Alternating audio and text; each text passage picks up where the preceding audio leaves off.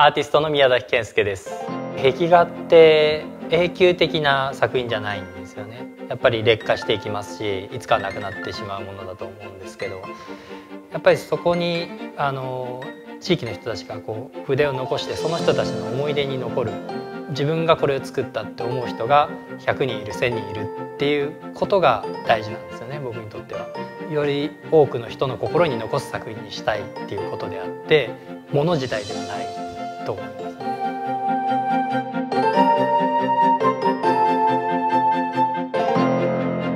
オーバー・ザ・ウォールプロジェクトという、まあ、1年に1カ国壁画を残すっていう活動を始めていってるんですけど実は2014年に、まあ、ケニアで壁画を描きに行くプロジェクトをやったんですけどでこれを毎年やっていこうっていうことで2016年の東ティモールからオーバー・ザ・ウォールと名乗ってるんですけどあの今年はエクアドルに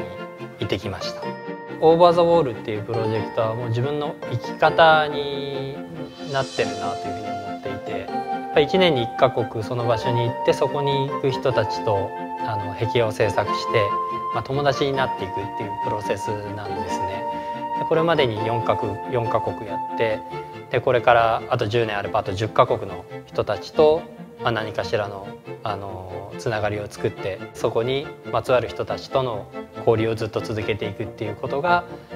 僕のやりたいことだし夢でもあるんですけど、えー、と今あのハイチであの準備をしてましてそのハイチの国境なき医師団の病棟に書くっていうのをあの第一そうですね候補としているんですけど、まあ、今現時点ではそういうふうに準備しているところですね。アーティストってあんまこう社会と接する機会がないんですけどまあその中で一番こう絵を描く手段としては一般的な社会との近いところにあるキャンバスというかその表現がダイレクトにこう社会の反応として見れるっていうそこが僕は面白いですね。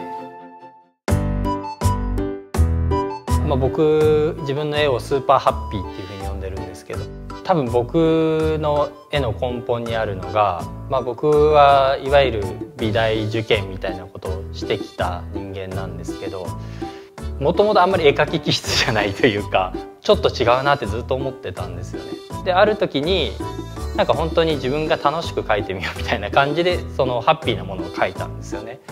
でその時にあんまり違和感がなくて最初ちょっと恥ずかしいなって思ってたんですけど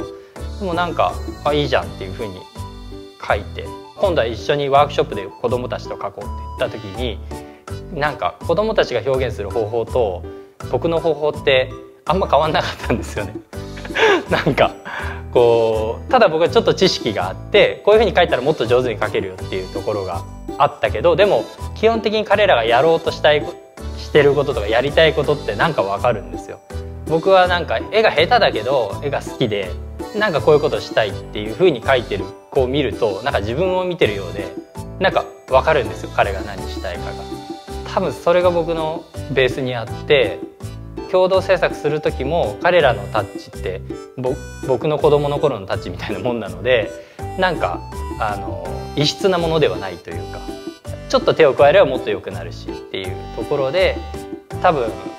マインド的にもテクニック的にもあんまり遠いところにないから一緒に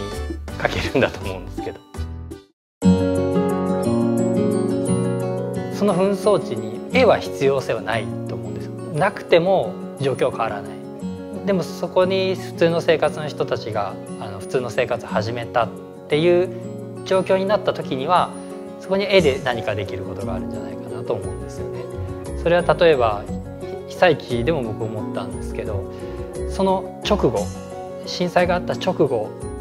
やっぱりそこで絵ができることってやっぱなかったんですよね。ただやれることっていうのはなんか荷物を運ぶぐらいしかできないんですけど。そこから1ヶ月2ヶ月3ヶ月経ってきた時にやっぱ心の部分であのいろんなこうやっぱりストレスが溜まってきたりいろんなところが出てきてそこにやっぱりアートのできることって僕はあると思うのでそこにコミットしたいと。